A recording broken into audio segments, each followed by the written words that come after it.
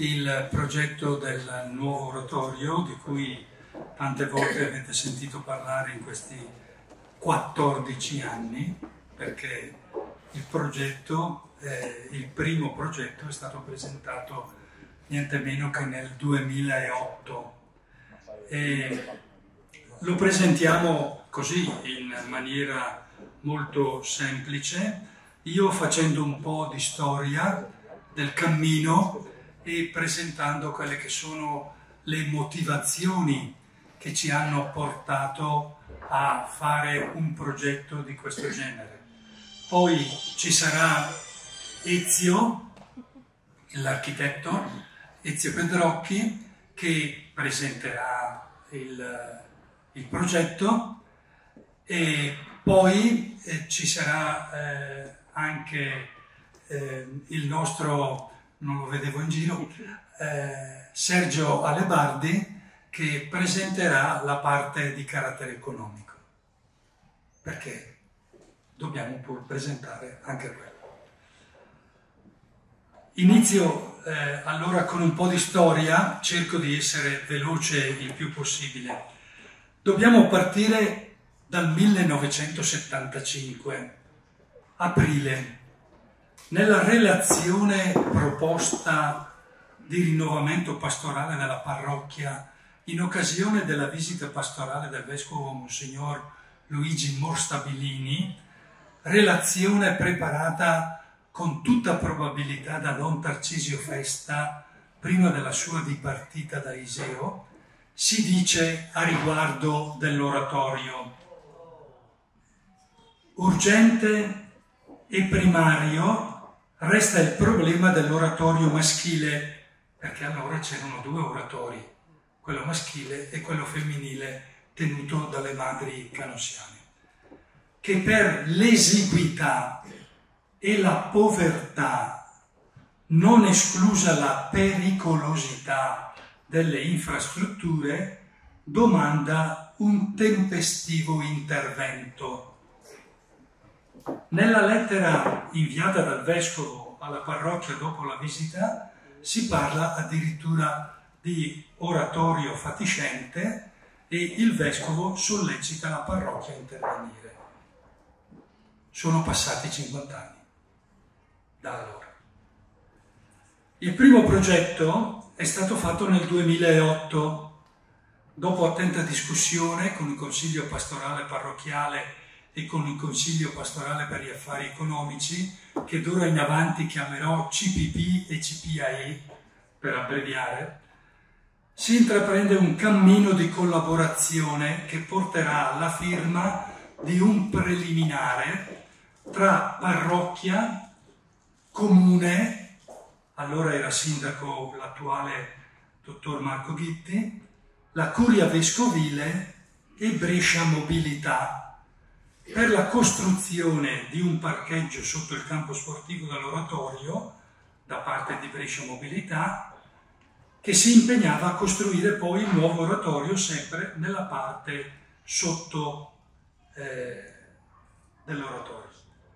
Questo progetto venne approvato all'unanimità dal Consiglio Comunale di allora poi tutti conoscete la telenovela nella quale la politica ha giocato il suo ruolo negativo, anche dopo la presentazione di un nuovo progetto che prevedeva un solo piano di parcheggi per non interferire nella cosiddetta faglia. faglia. Venne anche quello bocciato dall'ARPA si arriva al 2012 a presentare al soprintendente Alberti un nuovo progetto che viene dal soprintendente approvato e che prevedeva due corpi distinti, un ampliamento del, della palazzina, del bar, il cosiddetto ex centro giovanile, e la costruzione di un salone polivalente in questa zona dove siamo noi ora con il tendone. Questo progetto che abbiamo dovuto accettare in quanto imposto dalla soprintendente non era in consonanza con le nostre istanze pastorali, tant'è vero che siamo andati anche con la curia a far presente, ti ricordi, al soprintendente le nostre eh, idee, ma eh, non c'è stato niente da fare. Tra l'altro in quel progetto non erano previste nemmeno aule di catechismo in più, che sono quelle necessarie, e poi rimaneva il problema di fondo, salire e scendere continuamente per le varie attività senza la possibilità dell'accesso agli ambienti per i portatori di handicap. Nel 2018 arriva un nuovo sovrintendente Stolfi. Torniamo alla carica per rivedere il progetto, abbandonando l'idea dei due corpi difficili da gestire e da costruire anche per la mancanza di fondi. Vi ricordo che stavamo pagando il tetto della pieve. Il soprintendente viene in visita e sposa la nostra idea pastorale e che prevedeva il rispetto dell'ambiente storico-artistico in cui si inseriva. Si prepara un nuovo progetto che viene inviato, ma il soprintendente viene cambiato. Intanto nel 2019 il sottoscritto fa istanza alla CEI per ottenere dall'8 per 1000 un contributo per la nuova edilizia di culto che comprende anche i nuovi edifici degli oratori. Nello stesso tempo si contatta il nuovo soprintendente Rinaldi che acconsente a fare un sopralluogo e di fronte a tre progetti che abbiamo presentato, quindi immaginatevi il lavoro che è stato fatto eh, continuando a presentare progetti a secondo delle idee del soprintendente perché se non si ha il permesso della soprintendenza tu non fai niente in questa zona.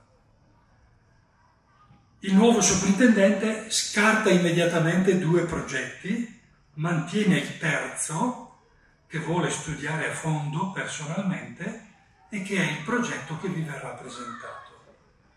Dopo alcuni mesi, nel 2020, arriva l'approvazione di massima del progetto da parte del soprintendente con la richiesta della ridefinizione di alcuni elementi architettonici nel 2021 che vi verranno poi presentati. Nel 2021 la CEI ammette l'accessibilità ai fondi per la costruzione del nuovo oratorio, ma a motivo del perdurare del Covid chiediamo la proroga di un anno della sovvenzione. Quest'anno la CEI ha fatto richiesta in giugno di inviare il progetto per quantificare il contributo. Il contributo della CEI viene dato solamente sulle realtà di ordine pastorale, quindi le aule di catechismo, che saranno otto, nel nuovo ambiente e per il salone polivalente che sarà di circa 300 posti. Un salone di cui ha bisogno la comunità. Questo è l'iter burocratico. Siamo arrivati a questo, dove c'è l'approvazione della soprintendenza, c'è l'approvazione della curia e c'è eh, l'approvazione della CEI per il contributo. Vi diciamo ora le motivazioni di carattere pratico, pastorale e tecnico che abbiamo presentato al Collegio dei Consultori della Curia Vescovile, al Consiglio per gli Affari Economici della Diocesi di Brescia, al Comitato della CEI e alla Soprintendenza di Brescia. Perché per l'edificazione di questo nuovo edificio ci sono delle motivazioni che ci hanno spinto e sono le seguenti. l'esiguità degli spazi adibiti alla catechesi nei vecchi edifici. In questo edificio superiore abbiamo in tutto tre aule di catechismo. Una aula è utilizzata come magazzino e ci sono due sale per le attività pastorali. L'ex cinema, che è di 120 posti, e l'aula eh, del sottopalco, che tra l'altro noi usiamo, ma che non sarebbe a noi. L'aula più grande è qui al piano terra, 5x6, qui sotto il portico. Le due sono al primo piano, 3,40 x 4,50 e 5x5. L'edificio ex centro giovanile ha tre aule per la catechesi al primo piano, 4x8, 3,50x5, 6x6. Per sopperire all'esiguità delle aule ci siamo da sempre appoggiati alle madri canusiane. Ma dall'anno scorso, a motivo del cantiere che hanno ancora in opera per la sistemazione degli loro ambienti e per il motivo della tutela della salute delle madri anziane, non abbiamo più potuto usufruirne e in futuro non potremo più usufruirne è stata fatta un'eccezione per il teatro perché è in un certo senso un po' extra cantiere e extra la loro abitazione. Tutte le aule non sono accessibili ai portatori di handicap, se non salendo da, da via Mirolte e via eh, Madonna della per raggiungere le varie aule bisogna sempre fare scale. E nel frattempo via Mirolte viene chiusa al traffico con la ZTL, per cui chi può entrare solo chi ha il permesso. Lui, io, i camioncini e bisogna chiedere continuamente il permesso per poter entrare qui. Terzo motivo lo studio della Regione Lombardia pubblicato sul BURL il 23-6-2011 classifica questo edificio dell'oratorio con un indice di vulnerabilità sismica superiore a 50, la più alta di tutti gli edifici di Iseo. L'intervenire quindi su un edificio del genere comporterebbe una spesa ingente e non sovvenzionabile dalla CEI rimarrebbe tra l'altro un edificio che non ha spazi sufficienti. Tutta la proprietà dell'oratorio è stata tra l'altro ritenuta non vincolata dal punto di vista storico-culturale dalla verifica di interesse fatta presso la regione Lombardia nel 2013. Quindi non esiste nulla di interesse storico-artistico. La palazzina, ex centro giovanile, che secondo le indicazioni della soprintendenza dovrà essere riportata all'originale, togliendo il porticato esterno, sarà completamente ristrutturata ricavando al piano superiore l'appartamento del curato, mentre nell'attuale bar si creerà la segreteria e la direzione dell'oratorio con un'aula ampia per alcune riunioni. L'ultima motivazione che ci ha portato a questo progetto è il cammino dell'unità pastorale che dal 2013 con Clusane e dal 2017 con Pilzone si sta cercando di attuare. C'è bisogno di ambienti che possano soddisfare incontri, riunioni e quant'altro dove saranno convocate tutte e tre le parrocchie. Queste motivazioni di carattere pastorale sono quelle che ci hanno portato a questo progetto di un unico piano che ora vi sarà presentato dall'architetto Petrocchi, che l'ha progettato tenendo presente tutte queste istanze.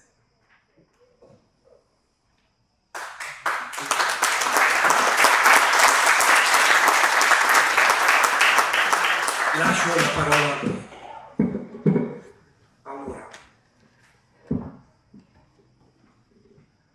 Spero di non essere troppo lungo anche perché le cose da dire sono un po' tante, 14 anni di progetti, voi capite che per un motivo l'altro e quell'altro dovrebbero essere raccontati meglio, io cercherò di essere il più sintetico possibile proprio per non, non, non stufarvi, anche perché sono cose che sono interessanti ma forse possono anche, qualcuno lo possono anche stancare. E volevo partire, come ho partito Don Giuliano, prima di tutto Partiamo prima dalla, dalla, da questo, questo, scritto che abbiamo ritrovato negli archivi, che risale al 1951, il momento dell'inaugurazione e benedizione della nuova opera, cioè dell'opera dei Salesiani, quando hanno realizzato praticamente l'oratorio con la demolizione delle mura e la realizzazione del campo sportivo nella parte bassa. E non solo. Adesso vi faccio vedere questa che è la, è la come vedete nella parte eh, qua in cima, eh, questa qui è la prima parte che è stata donata con la donazione di Francesco Bonardi nel 1902, che riguardava l'attuale palazzina del, del, dell'oratorio, quella che vedete qua in parte alla, alla, mia, alla mia, destra, e questa, e questa parte di cortile dove praticamente si svolgeva tutta l'attività oratoriana e i salesiani erano confinati in questa zona. Negli anni successivi, invece, i salesiani hanno cominciato a comprare questo mappale, poi la villa, ex villa Biemmi, che è questa qua sotto, in più hanno ottenuto e, e comperato questi altri due mappali grandi per, proprio per realizzare sia il campo sportivo, sia la, nella parte bassa, come vedete nel, nel progetto che c'è all'altere, la parte diciamo così del, dell'educazione che per la palazzina giù sotto quella dell'esercito giovanile c'erano le scuole medie. Quindi educazione attività sportive con un campo da calcio una pista d'atletica un, un, uno spazio per il salto in lungo e altri campi per i giochi. Poi nella parte superiore invece c'era tutta la parte pastorale. Qui sopra c'erano le aule dove si svolgeva la pastorale. C'era il teatrino realizzato nel 1924 faccio vedere anche qualche immagine di quello, ecco vedete qui le operazioni che sono state fatte nel, negli, anni, negli, anni, 50, in più non manca la fotografia, ma c'è una fotografia del 1924 dove si vede che la precedente aula nella parte terminale dell'edificio viene completamente demolita e viene realizzato questo, questo teatro.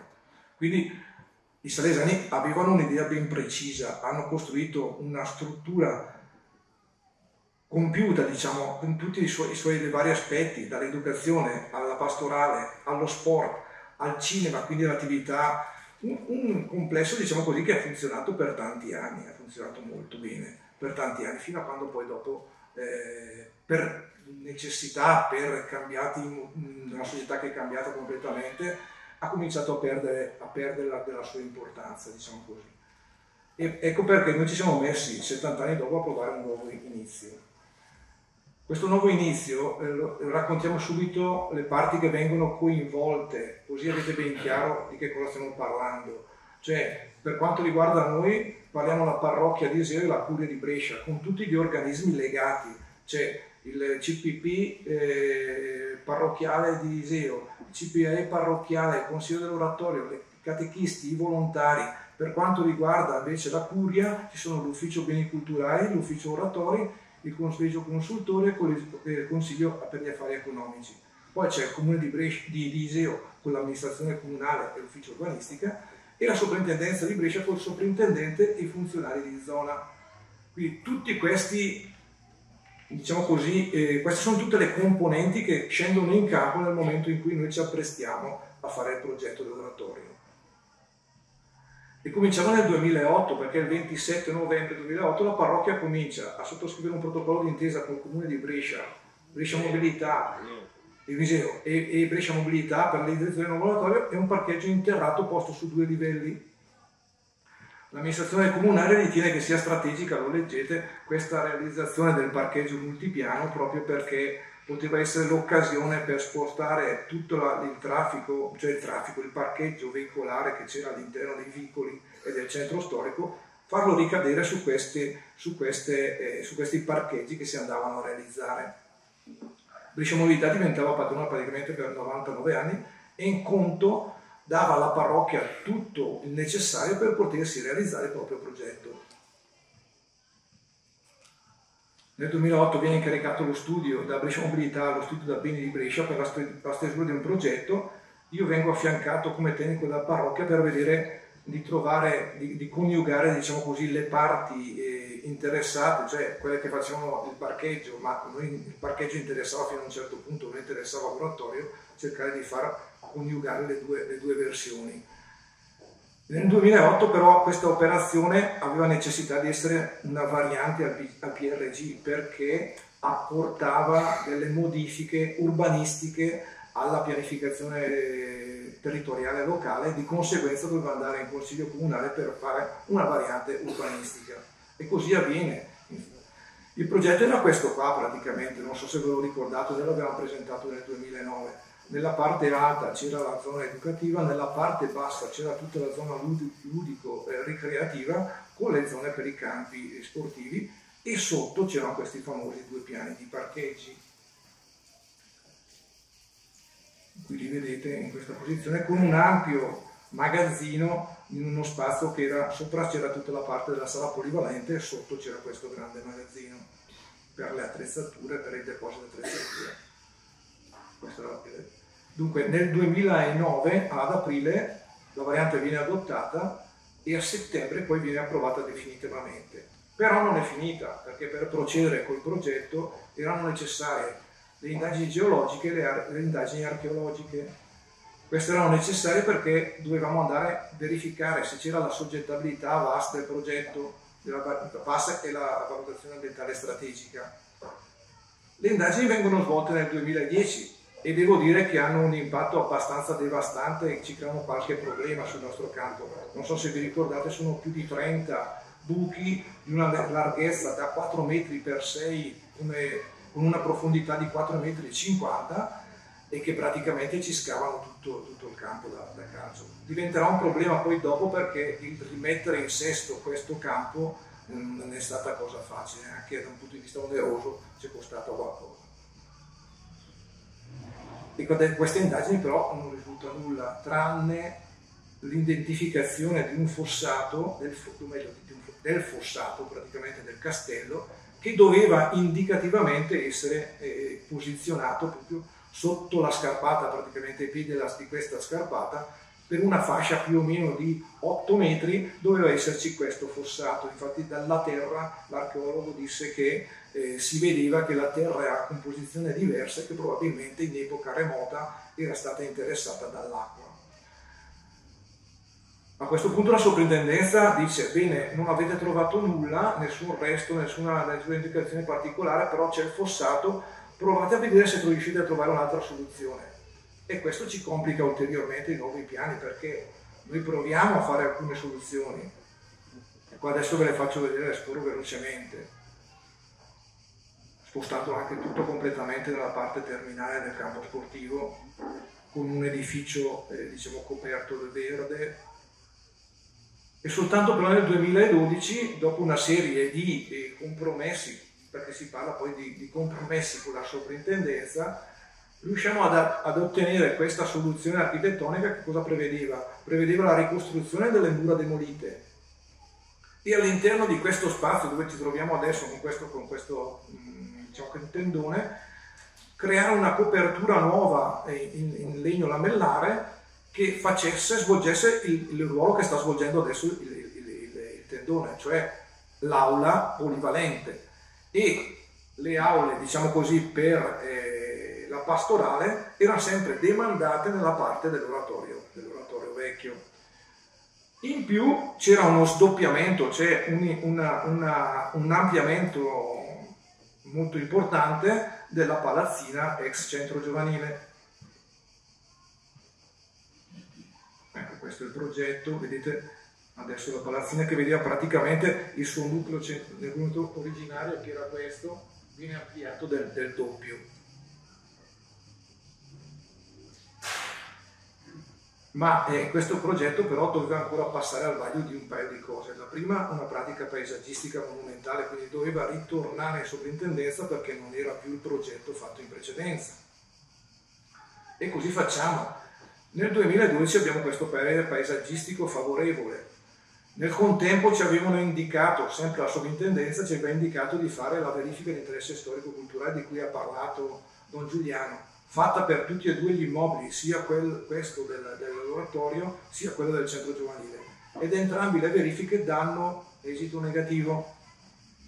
Però cosa succede? Che essendo spostato il, la struttura, adesso si era spostata su, necessitava questo luogo di essere interessato ancora da indagini archeologiche, che qui non avevano fatto, le avevano fatte nel campo sportivo, ma qua sopra non le avevano fatte. Tra parentesi, qui è la zona che dovrebbe essere interessata dalla villa romana, quella per cui sono stati trovati reperti sia in via Madonna della Neve sia nel Sagrato, non so se vi ricordate quando abbiamo sistemato le scale della, della, dietro la Madonna della Neve, abbiamo trovato proprio i resti della, della, della villa romana, quindi siamo in una zona sensibile. E le indagini portano alla verifica che effettivamente dei resti significativi ci sono qua sotto, anche non sotto molto, molto, molto terreno, quindi diventava un problema, non potevamo scavare più di tanto, quindi anche con le fondazioni avremmo dovuto avere dei, potevamo avere anche dei problemi.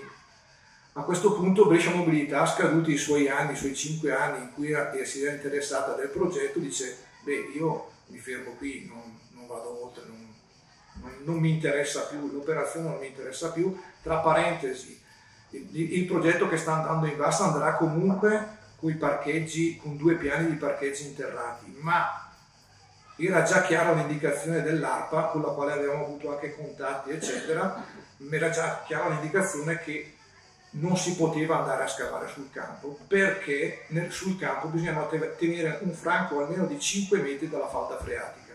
E la falda freatica, cioè la falda diciamo così dell'acquedotto è sotto un paio di metri di conseguenza non avevamo questi spazi e questo margine, questo franco di sicurezza non ce l'avevamo la parrocchia fa un nuovo accordo comunque col comune nella quale dice va bene, eh, noi cercheremo di fare qualcosa, però cerchiamo di, di, andare di nuovo d'accordo e cerchiamo di portare avanti comunque il progetto. L'accordo viene fatto, si va in VAS e la VAS conferma quello che, stavo, che stavo dicendovi prima. Nonostante avessimo presentato anche un progetto in VAS che si fermava appena ad un piano, cioè voi pensate che l'unico piano interrato che c'era sotto usciva alla quota dell'attuale Viale Repubblica, quindi non, usciva, non, non si scavava ulteriormente, arrivava alla quota di piano. Ci siamo sempre domandati perché di no, anche da parte dell'ARPA, però valeva sempre l'interpretazione che ne hanno dato, cioè i 5 metri di franco dovevano essere rispettati. Andiamo in base, la base condizionata ci dà parere favorevole, ci dice benissimo, fate il progetto sopra dell'oratorio, però non scavate nulla, sotto non scavate non fate nessun tipo di parcheggio.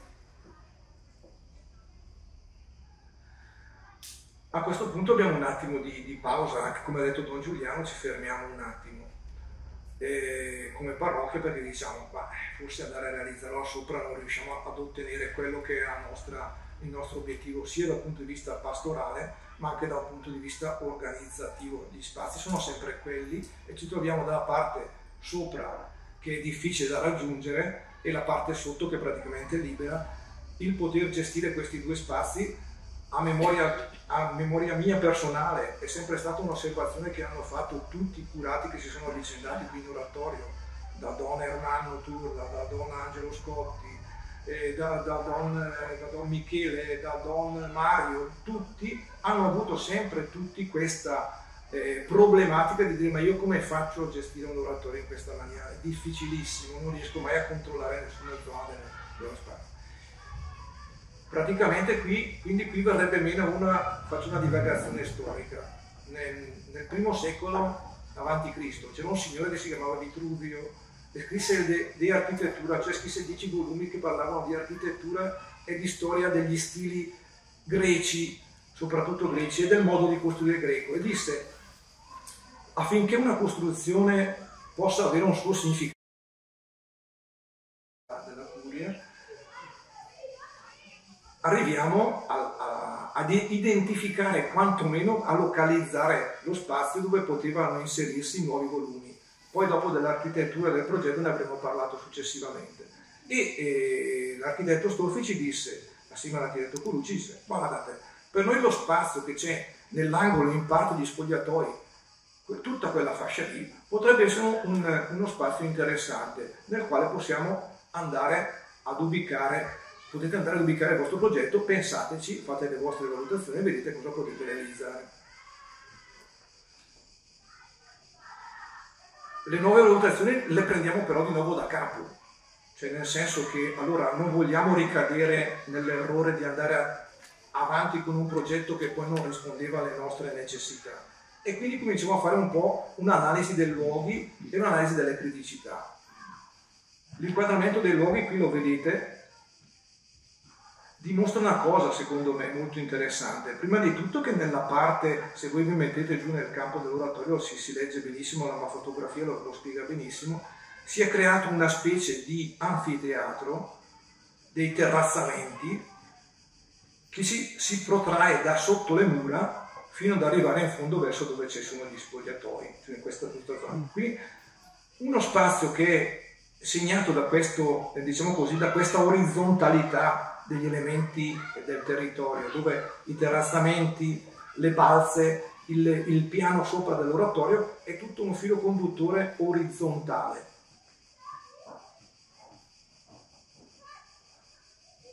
Poi qua è un'indicazione che abbiamo l'analisi di una cosa molto importante, sono gli stati gli accessi. E, gli accessi sono di due tipi, o da Madonna della Neve o da Viale Repubblica quello da via Madonna della Neve con tutta una serie di criticità che ha espresso prima il parroco, poi ve le farò vedere, ma le conoscete benissimo perché siete in gran parte tutti di Iseo, mentre invece da via Repubblica l'accessibilità è tutt'altra cosa. E devo dire che è stato un elemento che nella presentazione fatta alla CEI ha avuto il suo, eh, il suo forte significato, forte appeal, nel senso che hanno capito benissimo che la popolazione per arrivare a piedi in oratorio deve fare una serie di percorsi non proprio ad ostacoli ma quasi. Ecco, qua ce ne sono alcuni, per chi volesse avventurarsi su questi ancora di più. Mentre invece chiaramente dall'ingresso nel piano, nella parte bassa, è immediato sia un accesso veicolare, sia un accesso pedonale, sia le mamme con i passeggini, sia le persone portatrici di handicap.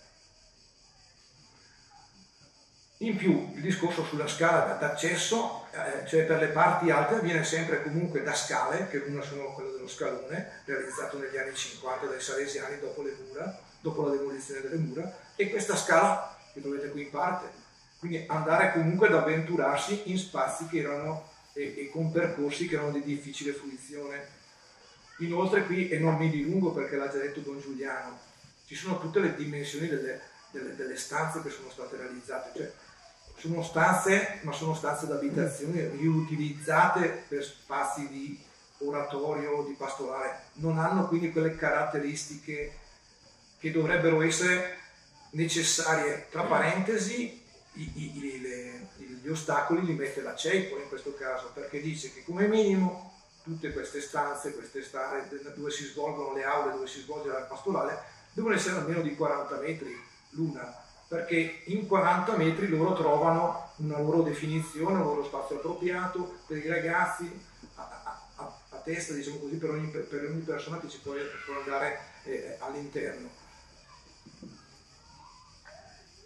E poi, come si è detto, infatti, eh, la criticità dal punto di vista eh, sismico è quella, non è poca cosa. Questo, questo passo veloce. E arrivo al progetto dei lavoratori a fronte di tutta questa analisi condotta per molto tempo su, queste, su tutti questi punti,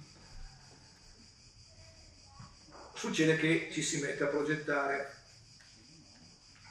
E la prima cosa che personalmente balza all'occhio è stata, oltre al discorso che facevo prima dell'orizzontalità dello spazio e quindi questo anfiteatro che si crea come elemento, e anche la frammentazione di tutti questi elementi che ci sono all'interno dell'oratorio, cioè ci sono eh, scale, elementi verticali, ci sono eh, cose mezze, mezze distribuite, mezze no, quindi c'è una frammentazione distributiva che dà fastidio. Poteva venire in, in, in, in aiuto che cosa poteva venire? Chiaramente esempi tipologici magari eh, di architetture recenti, ma anche e soprattutto poteva venire secondo me la storia, anche perché poi tante volte noi architetti giriamo attorno a tante, facciamo voli pindarici attorno a soluzioni eccetera, eh, particolari, ma poi arriviamo a trovare, come diceva eh, l'architetto Aldo Rossi, traduciamo sempre tutto questo in un disegno che è antico, perché è un disegno che c'era già prima e che qualcuno aveva già fatto prima di noi. Per esempio una cosa che mi ha sempre affascinato era l'esempio, queste sono le sue suggezioni progettuali, la piazza del mercato a, a Rovato, dove il Vantini proprio in quel caso lì si addossa al rivellino del castello che verrà poi demolito, addossa la sua costruzione ad emiciclo e crea una piazza. Quindi mette ordine in uno spazio dove ordine prima non c'era, uno spazio dove al di fuori del bastione, o meglio al di fuori del rivellino, c'era uno spazio indefinito, lui lo ridefinisce, ci crea una piazza. Quindi un elemento ordinatore è questa struttura, è questo elemento di porticato eh, che con sopra praticamente le abitazioni, sotto c'erano le, sotto c'erano le, le, le attività commerciali, sopra il porticato e, e si svolgeva, poteva svolgersi il mercato in questa zona qui. Vedete, la parte gialla che vedete lì è la parte del rivellino che viene demolita dal Vantini. Questo è il suo aspetto definitivo, ma non solo, visto che il Bantini era stato qui esilo, questa della, della piazza di Rovato, l'elemento architettonico principale è, se voi la guardate attentamente, è una riproposizione di un elemento che invece sulla piazza del mercato di Iseo viene svolta in maniera orizzontale, senza curve, non è più stondato, non è più concavo, ma diventa lineare, assume una forma completamente diversa.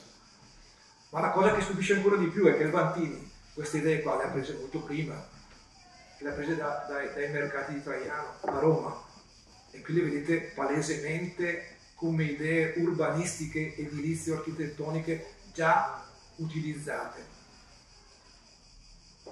Questa qua è un'altra suggestione, la Villa Manini in provincia di Udine e comunque il leitmotiv è sempre quello. Questo motivo però a noi poteva essere, per le esigenze che avevamo di realizzare aule, realizzare un portico dove poter radunare i ragazzi. Io questo ricordo da bambino che mi sono portato dietro quasi come un trauma quando si faceva quella che si chiamava colonia, adesso si chiama Gresco, una volta la colonia. Alle due del pomeriggio eravamo sotto quella, quella parte lì dove c'è la ringhiera, picchiati al sole dall'una, e mezza fino alle due e un quarto quando si partiva con, a, piedi, a piedi per arrivare in quella località Sassabalè con le nostre bandiere e i nostri standard di gomma era, era, un momento tragico perché qui c'era tutto il sole che picchiava, che picchiava come un maledetto. E anche sentendo Don Giuliano, uno dei problemi che poteva essere delle, delle, delle, delle, attività era quello di trovare proprio un punto all'aperto dove poter portare i ragazzi anche in qualsiasi momento, anche di pioggia, non soltanto di sole ma anche di pioggia. E qual è meglio del portico come elemento? Il portico come elemento ordinatore che all'interno trova invece le aule che convergono sul portico e che si riuniscono poi in quello che è lo spazio del salone polivalente. Ed ecco qua la soluzione che molti di voi hanno già visto, eh, quella che abbiamo portato nel 2021 dall'architetto Rinaldi, che dopo una serie di verifiche fatte direttamente da lui eh, ci ha lasciato stupiti quella mattina che eravamo io, lei, Don Giuliano il suo predetto, presentatelo così che va bene siamo tornati a casa tutti e due eh, contenti, contenti e soddisfatti. Vedete, anche la simbologia ha un suo significato, la parte centrale di questo salone, pur non rispondendo ai canoni del teatro vero e proprio, ha però un'idea simbolica, questo vuole essere il significato di un seme, un seme della gioventù che è posto proprio nel cuore nostro, del, nostro, del, nostro, del nostro territorio e all'interno del quale si può creare qualcosa di nuovo. La gioventù può trovare nuovi sbocchi, nuove porte. Questa è la copertura. Io vi faccio vedere adesso quella che è la prima ipotesi, che però la soprintendenza ci ha dato parere favorevole, però ha voluto alcune correzioni, poi vi dico quali. Parte, questo è il render. Nella parte superiore noi abbiamo realizzato questo che è un anfiteatro all'aperto che guardava verso, verso la, la, Madonna, la chiesa della Madonna della Neve, perché alla fine di questo percorso che non so se avete visto prima, i percorsi laterali, che sono questi, uno questo e l'altro questo, convergono nella parte superiore dove c'è, dove c'è, questo anfiteatro. E la soprintendenza però ci ha detto che non voleva quell'anfiteatro, l'anfiteatro di sopra ci ha detto di toglierlo. Prima era sì, sì, prima era sì, poi è stato no. Ci ha detto ma vedete di toglierlo. Bene, noi avevamo proposto anche un tetto verde che da un punto di vista paesaggistico ci sembrava migliore, ci hanno detto assolutamente di no. Questa è la vista dall'alto, questo è lo scorcio di quello che sarebbe il, tutta la struttura. Questi sono i percorsi, il percorso laterale che sale. Quindi questa è l'autorizzazione che a novembre 2011 invece ci ha dato eh, la soprintendenza come vedete si ritiene la soluzione presentata compatibile con le esigenze eh, di tutela monumentale e paesaggistica e rilascia dunque parere favorevole alla realizzazione dell'opera. Sotto, nelle righe, c'è scritto appunto quello che vi ho detto prima, la demolizione della parte del, del teatrino all'aperto e la copertura, che non vorrebbero una copertura piana, Adesso siamo, siamo, in contatto con la soprintendenza per capire che tipo di copertura. Adesso vi faccio vedere quella che abbiamo proposto anche per spiegare il motivo. Nel 20, giorno 20, ecco, prima del 25 maggio abbiamo presentato il, il progetto in comune, depositato il progetto per il piano di recupero e campo sportivo. Ecco, la soluzione è questa qua, noi abbiamo riproposto una copertura a coppi, anche perché se, vediamo se c'è una vista, migliore. Ecco, parlavo prima dell'orizzontalità dell'edificio, proprio perché alla fine non va a disturbare tutte le emergenze storico-architettoniche che ci sono sopra, cioè si leggono completamente bene la chiesa della Madonna della Neve, in, in profondità il campanile della parrocchiale e più spostato anche tutte le, le torri e il castello Odofredi. Quindi l'elemento eh, architettonico non va a disturbare nulla di tutto quello che c'è. E nello skyline pensavamo che se non andava bene il tetto piano, se non andava bene il tetto verde, la riproposizione di un tetto a due falde in coppi che praticamente riprende i coppi che si vedono in lontananza, che sono quelli della chiesa, quelli delle case vicine, quelli dell'oratorio, eccetera, potesse essere la soluzione migliore. Questo non ci è dato ancora a sapere la risposta della, della sovrintendenza, la faremo sapere. Questo è il percorso, e questa è la, praticamente una vista da render di quella, di quella parte diciamo così porticata dove questi gradini alla fine possono essere delle sedute alla gente che va nel campo. Mi sono dimenticato di dire una cosa allora nella realizzazione del progetto al di là dell'edificio sono comunque stati garantiti un campo a 7 con le dimensioni previste dal CSI quindi per calcio CSI un campo di pallavolo basket che è subito dietro al campo di eh, al campo di calcio e stiamo ancora pensando a come sviluppare nelle altre parti verdi i giochi per i bambini, lo spazio per un altro campo che eventualmente potrebbe anche essere in quel caso forse riportato qua di sopra come era prima dove c'era un campo di pallacanestro, di, di portine, noi le chiamavamo di calcetto a, a, a 5. Vedremo come fare. Ma eh, parliamo un attimo del, anche del finanziamento CEI, poi ci sarà Sergio che darà al, altri numeri dal punto di vista finanziario. Allora, eh, la CEI, come ha detto Don Giuliano, ha un suo regolamento e ha delle modalità di finanziamento ben precise. Il progetto infatti è stato valutato preliminarmente dal comitato della CEI, è stato verificato secondo tutta una serie di parametri che ci hanno fatto verificare loro, che sono parametri loro interni, vi dicevo prima, quelli delle, delle dimensioni delle aule, quelli degli spazi di servizi igienici, quelli degli spazi di percorsi pedonali, tutte queste cose qua le abbiamo verificate con la CEI e ci dà il 70% di quello che riguarda soltanto però le parti pastorali, cioè quindi il salone polivalente e le aule. Però queste devono avere delle dimensioni ben precise e questi sono i parametri che ci dà la CEI di riferimento in base al numero degli abitanti Noi ricadiamo nella parte, in questa parte qua, di 9.000, fra 9.000 e 10.000 abitanti, quindi possiamo avere una superficie, una quantità massima di aule di 18. Una superficie totale di 630 metri quadrati per quanto riguarda le aule e per quanto riguarda il salone di 410 metri. Noi abbiamo 8 aule preventivate dei quali c'erano 18. La superficie delle aule nostre è 390 contro i 630 della CEI, la superficie del salone è 395 contro un 410 previsto dalla CEI, la superficie del bar invece non ha limiti perché quella non te la finanzia e quindi dicono tu se vuoi fare il bar fallo quanto grande quanto vuoi, te lo paghi tu, idem per gli spogliatoi, idem per il portico che sono quasi 590 metri quadrati di portico. Ecco, questi sono tutti i dati del progetto, sono tutti i dati che sono eh, stati il frutto di un lavoro, come avete visto, che eh, non a caso è durato tutti questi anni, anche perché c'era tutta una serie di scogli e di eh, diciamo così, impedimenti che dovevano essere verificati, superati.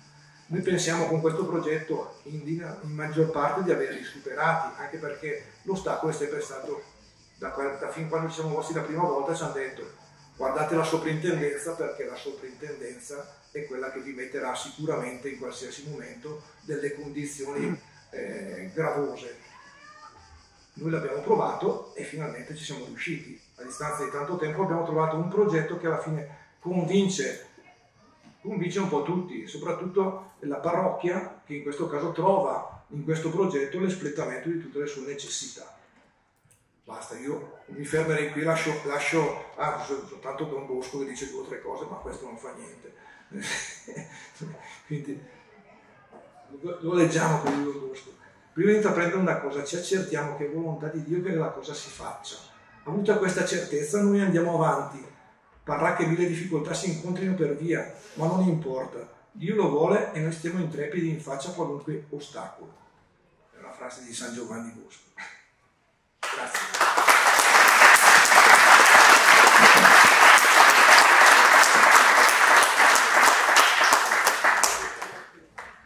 Allora, innanzitutto buonasera a tutti.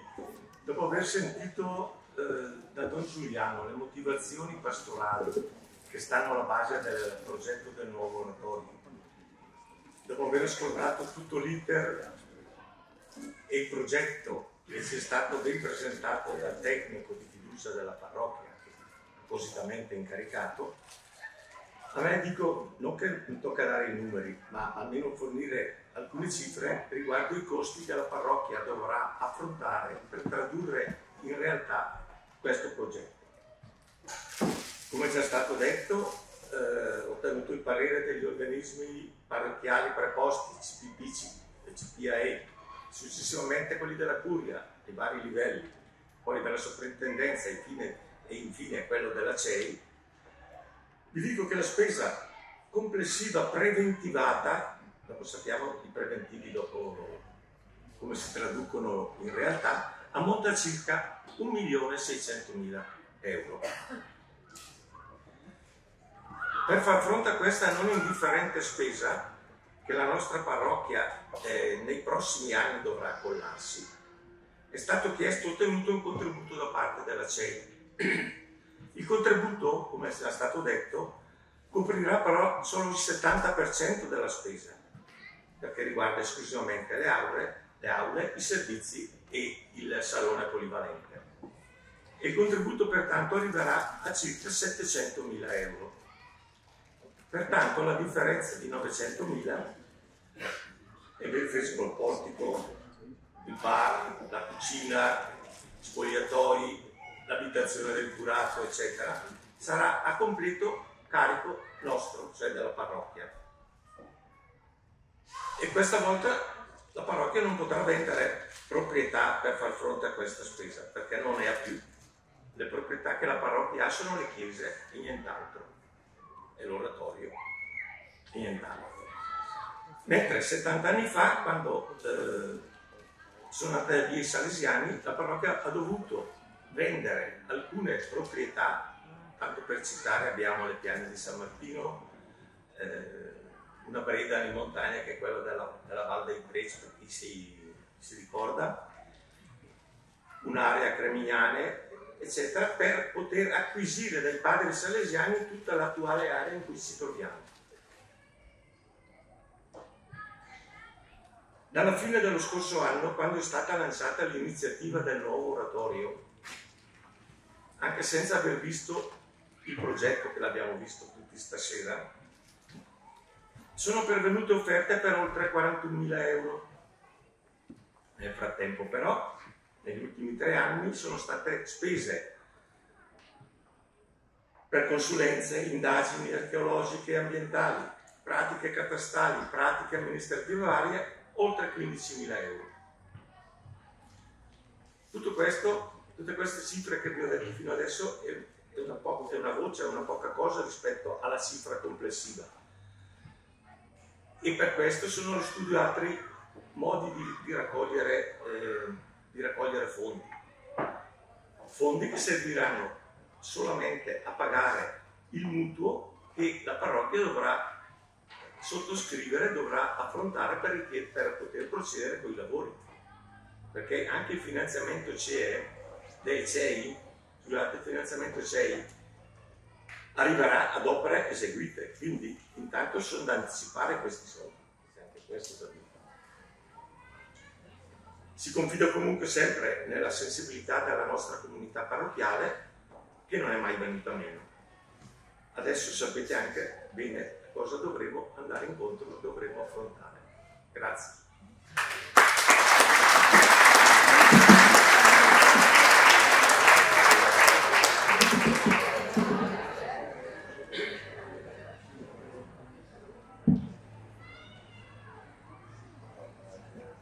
Di fronte a tutto questo, io eh, sono tenuto a dirvi alcune altre cose.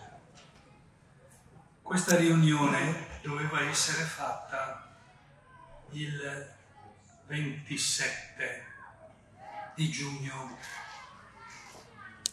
però il 24 giugno arriva per conoscenza della parrocchia di firmato dall'amministrazione comunale di Iseo, senza nessuna firma, amministrazione comunale, arriva una lettera circa il progetto del nuovo oratorio.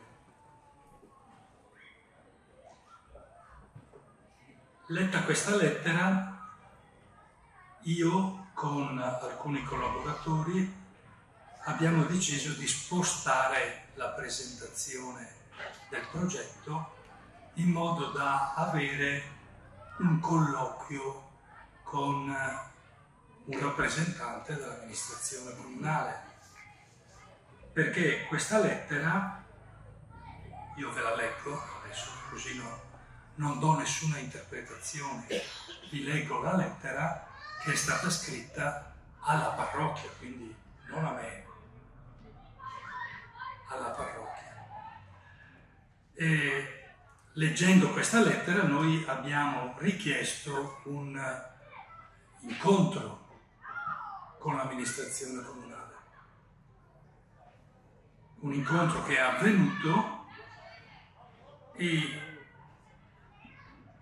dal quale abbiamo ricevuto delle risposte pochettino vaghe. Vi leggo la lettera che così eh, non vi tengo in sospeso più di tanto. Oggetto 24, Iseo 24 giugno 2022. Oggetto progetto nuovo oratorio.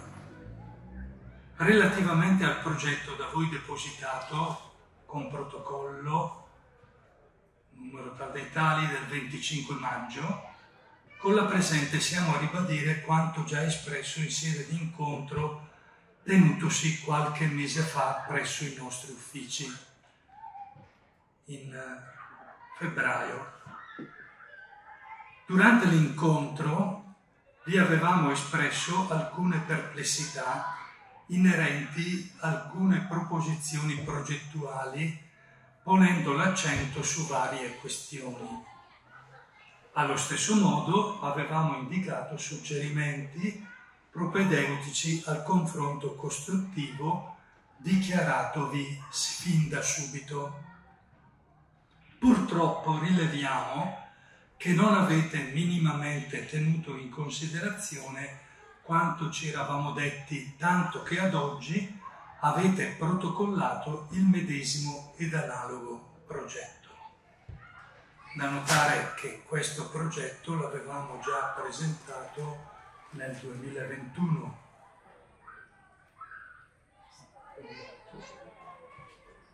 Novembre del 2021. Consapevoli dei vincoli temporali che ne, che ne condizionano l'accesso a finanziamenti dedicati ed erogati dalla CEI, intendiamo tuttavia esporvi nuovamente alcune valutazioni che riteniamo fondamentali. Il luogo, così come lo viviamo oggi, ha origini ben precise. La scuola tenuta dai Salesiani ha formato intere generazioni di nostri concittadini. Il tempo scuola, lo sport, il luogo dell'incontro sono rappresentati molto bene dal sito sul quale si adagia il nostro oratorio. Il campo sportivo ed il suo vuoto rappresenta un unicum nel tessuto urbano del paese. La palazzina soprastante da sempre è l'oratorio con il relativo piazzale, originariamente unico spazio vuoto il cui valore storico-simbolico ne rappresenta una certezza. La scalinata da sempre è il naturale collegamento fra il, primo, fra il piano terra con il suo centro giovanile, altro simbolo storico di Iseo, ed il piano rialzato a cui è legata la storia, la memoria della nostra comunità. Va detto che la nostra attenzione sul tema in oggetto è ricondotta anche al contraddittorio che venne generato dal progetto parcheggio che ben tutti conosciamo. Nessuno intende incorrere in sterili polemiche che portino nuovamente e per quanto legittime a prese di posizione contrarie l'une alle altre. Il nostro interesse primario è quello di creare il giusto equilibrio fra le diverse posizioni che già si sono espresse e delle quali abbiamo già raccolto il pensiero. La palazzina attualmente in uso è memoria storica del paese a fronte della sua realizzazione e destinazione originaria caratterizzata dalla presenza per decenni dei frati salesiani. Dovrà rimanere di proprietà dell'oratorio, prevedendo un piano di recupero che ne destini gli spazi alle attività insite nel luogo oratorio per eccellenza. Pertanto, pertanto detto immobile deve essere riqualificato nel rispetto delle sue originarie funzioni e ricompreso nella progettazione proposta definendone un cronoprogramma di recupero unitario. La scalinata, da sempre utilizzata durante le processioni religiose, rappresenta un punto di giunzione fondamentale fra il passato ed il futuro, dove la nuova proposta progettuale deve armonizzarsi con la stessa. Concludiamo evidenziando come nelle tavole depositate non troviamo spazi dedicati in sostituzione del tendone adibito che ci consenta di procedere con le approvazioni necessarie, porgiamo distinti saluti. L'amministrazione comunale di Isio. Questa è la lettera che è arrivata noi ne abbiamo parlato, abbiamo avuto un incontro con il vice sindaco, abbiamo spiegato quelle che sono le nostre perplessità nei confronti di queste nuove indicazioni che ci vengono date quando tutto ormai è programmato.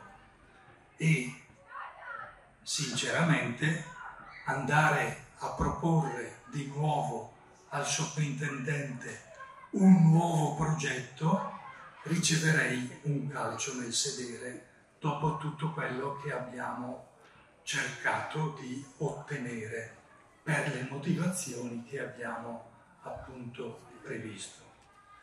Tra l'altro, eh, forse non hanno letto bene il progetto, il salone è un salone polivalente, che vuol dire che non è né un teatro né un cinema, che non verrebbe finanziato dalla CEI.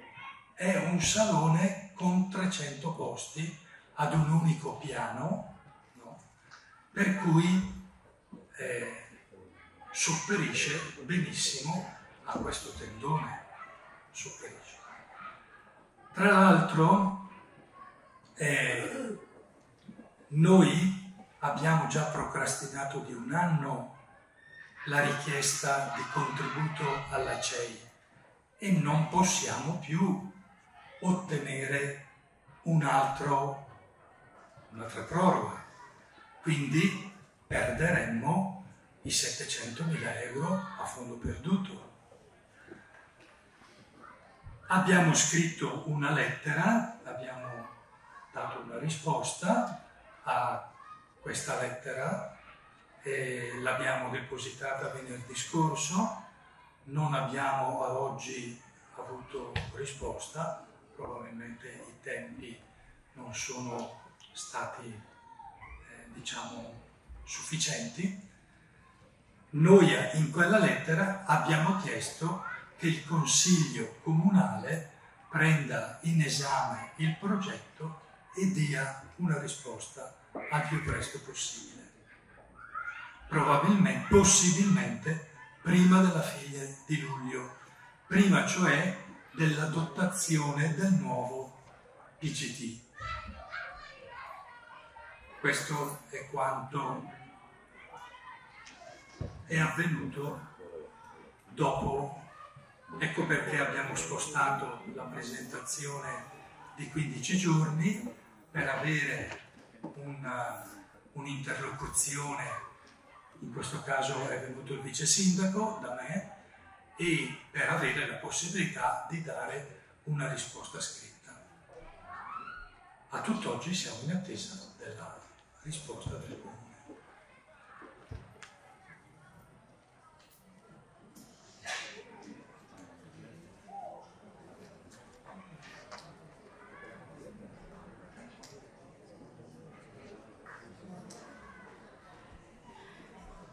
Eh, questa voleva essere solo una presentazione e non una discussione. Se qualcuno ha dei chiarimenti, da, da chiedere, eh, penso che possa farla o al sottoscritto o all'architetto se si tratta di eh, questioni di carattere tecnico. Però come vedete dalla, eh, dallo scritto del comune non ci sono eh, delle richieste di carattere legislativo. Sono tutte richieste, se così possiamo dire, di legame affettivo all'ambiente, ma nessuno di noi ha intenzione di vendere questo ambiente. Questo ambiente rimane quando ci sarà in funzione il nuovo oratorio e la nuova palazzina con l'abitazione del curato, eccetera, qui si potrà eventualmente usufruirlo. Adagio adagio, se ci saranno i fondi, sistemarlo e usufruirne, non so, per le varie associazioni, per esempio le nostre associazioni, vedi eh, le ACLI, vedi le associazioni di volontariato che abbiamo, cioè potrebbe diventare, potrebbe diventare anche questa parte in un futuro eh, una parte di ospitalità. Per esempio, noi abbiamo un fracco di gruppi scout che chiedono al sabato e alla domenica di poter venire a svolgere le loro attività. Li dobbiamo mettere a dormire, scusate, nelle aule di catechismo o qui nel tendone.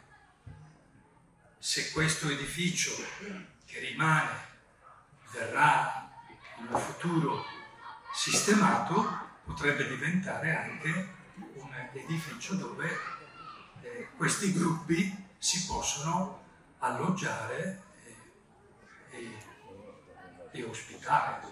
No? Io vorrei ribadire una cosa. Questo studio durato 14 anni, questo chiamiamolo studio, eh, del oratorio durato 14 anni e che ha pesato, vi dico la verità, in maniera molto forte sul sottoscritto, anche perché ho avuto anche degli scontri da parte della comunità cristiana di Iseo a riguardo della costruzione del nuovo oratorio. E è una costruzione che deve guardare al futuro, non al passato. Il passato è certamente glorioso.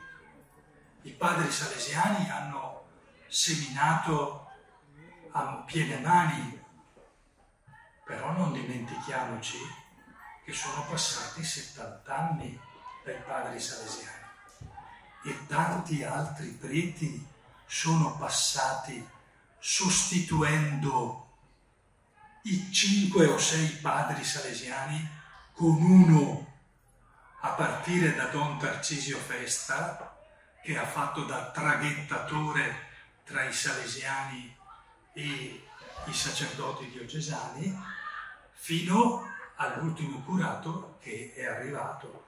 70 anni non sono pochi, sono più di quelli dei salesiani, ma però sono trascorsi anche i tempi i tempi dei salesiani non tornano più indietro. Noi dobbiamo guardare in avanti e dobbiamo cercare di creare degli ambienti che possano essere adatti per i tempi di oggi. Scusate, qual è il giovane che si sente attirato da questo ambiente fatiscente? Me lo dite voi? quanti. Cioè anche un ambiente nuovo, un ambiente disponibile, dove possono venire tutti, sia i figli di quelli di destra, sia i figli di quelli di sinistra, perché noi non facciamo divisioni di carattere politico e non facciamo politica.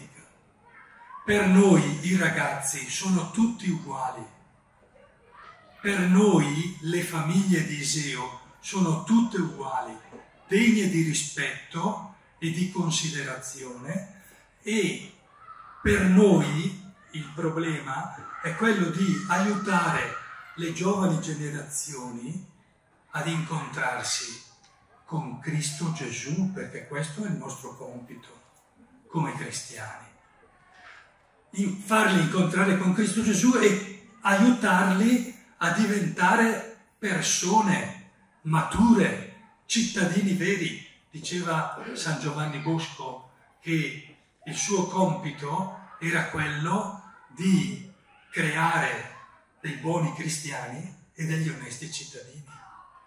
È l'intento che noi come sacerdoti abbiamo e che vogliamo cercare di attuare con una nuova struttura. Ora, questa lettera che è arrivata alla fine è chiaramente una lettera che ci mette in discussione, perché se io perdo i finanziamenti, io l'oratorio non lo costruisco più. Eh. se io eh, devo rifare un progetto che contempla di nuovo il salire, il scendere, eccetera, vado contro tutte quelle motivazioni che noi abbiamo studiato per cercare di venire incontro alle persone che entrando da sotto possono tranquillamente parcheggiare la, macchina ed avere a disposizione tutti gli ambienti, soprattutto per le persone che sono portatrici di handicap. Mentre qui sarebbe di nuovo una grande difficoltà da affrontare. Quindi noi abbiamo chiesto nella lettera che il Consiglio Comunale esamini al più presto il progetto e ci dia una risposta. Vedremo cosa succederà. Possiamo...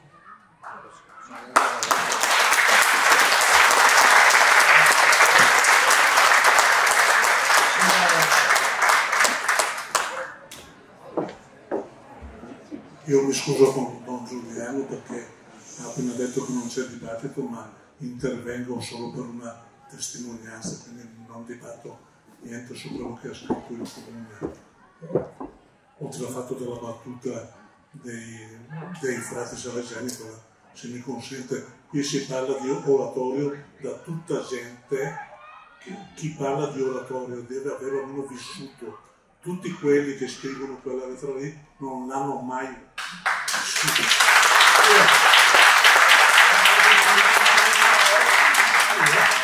La seconda cosa importante è che la storia deve, deve risalire al dopoguerra. Qui c'è sempre stata un'unione tra la comunità religiosa, allora rappresentata da Salesiani, con Don Bussoletti che salvò insieme all'ufficiale tedesco da una carneficina nel paese di Iseu, di questo tutti lo sanno. E allora queste cose vanno lette fino in fondo perché il fatto di Don Mariani, allora direttore che fece quest'opera qui, eccetera, il fatto che vennero coinvolti tutti i ragazzi che facevano la media, io avevo un professore di latino che mi diceva se scavi 20 carriole del campo ti condono 20 frasi di latino. Il che mi ha corrotto, vabbè, però io l'ho accettato perché mi conveniva.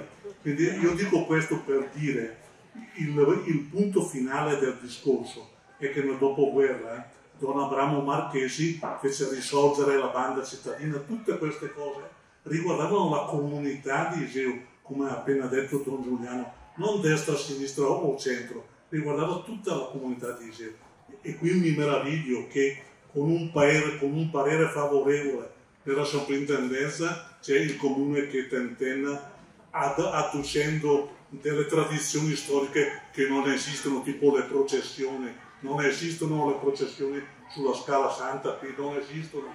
Quindi, le processioni ci sono state e io da ragazzino mi lamentavo che erano troppo lunghe e il prete mi rispondeva no caro, non sono le processioni lunghe, ma è la tua fede che è troppo corta. Quindi tutto questo, insomma, questi sono fatti che riguardano l'esperienza mia personale, però io dico, al fondo di tutta la vicenda credo che da parte del comune come rappresentante della comunità debba dare un po' di fiducia alla comunità parrocchiale che propone questo, ma lo propone per chi? Per i figli degli abitanti di Iseo, non per chissà chi. Grazie.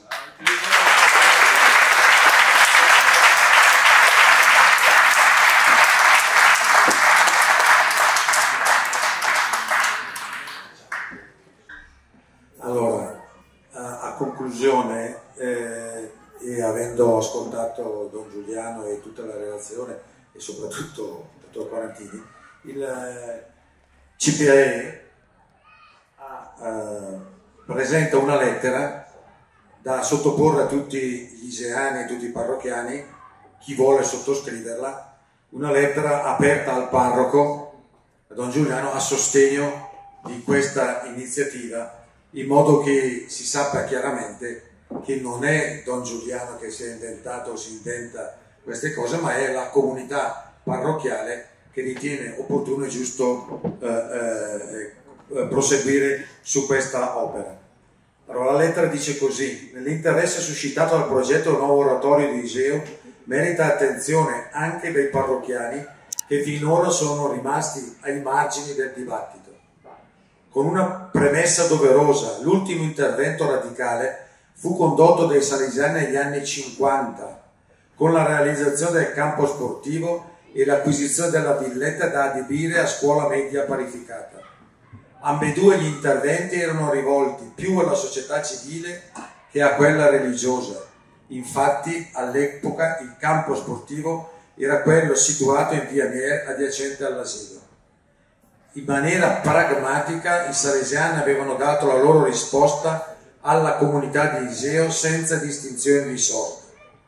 I tempi sono cambiati. Dopo 70 anni il parroco Don Giuliano d'intesa con gli organismi competenti, elabora un nuovo progetto per la riqualificazione e per ottimizzare la struttura dell'oratorio, per renderlo più accogliente per i ragazzi e le famiglie di Iseo e per corrispondere alle nuove esigenze pastorali.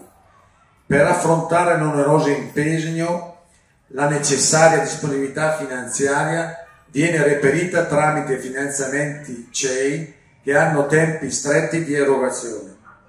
Abbiamo fiducia che gli organismi comunali competenti di Iseo, dopo 14 anni dalla presentazione del primo progetto, avendo a disposizione uno strumento urbanistico vigente, risolva il problema di approvazione del progetto oratorio in tempi brevi, visto il parere vincolante della sovrintendenza e della CEI. Un progetto rivolto alle famiglie dei ragazzi di Iseo alla loro educazione religiosa e civile. Per questo sosteniamo l'iniziativa del loro oratorio e chiediamo al parroco di proseguire nell'espletamento di tutte le pratiche necessarie ad ottenere il risultato positivo nel più breve tempo possibile.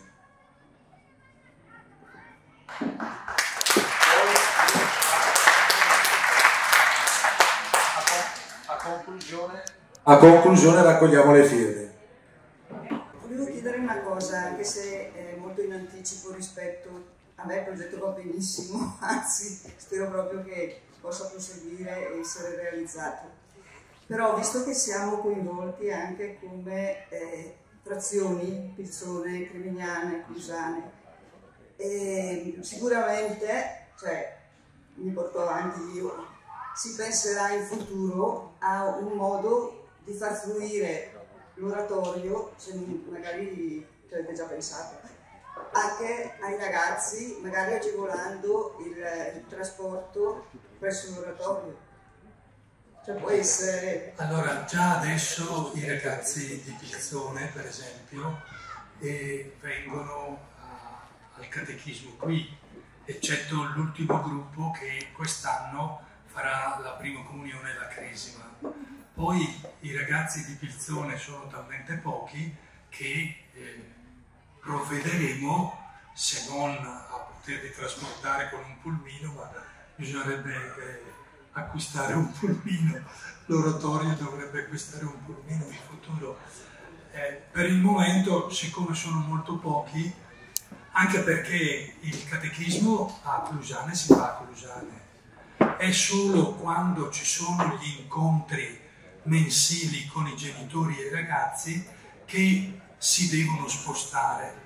E allora eh, ecco il motivo per cui eh, facendo un centro eh, più ampio, con degli spazi più ampi, si può eventualmente, eh, e facendo anche il, il parcheggio, le persone possono entrare senza dover pagare il parcheggio fuori perché se io devo far venire eh, i genitori per una riunione e questi mi devono pagare eh, il parcheggio, non so quanti me ne vengono. Eh, quindi sicuramente poi si, si cercherà di, di, di, fare questo lavoro di coordinamento. Ma non è mica detto che noi non usiamo più gli altri ambienti, perché per esempio quando si tratta di fare il consiglio dell'oratorio, noi ci spostiamo nei tre oratori, andiamo anche a Pizzone a fare il consiglio dell'oratorio. Non, è che, che abbandoniamo, andiamo a Lusane, eccetera. Sì, sì, poi si faranno.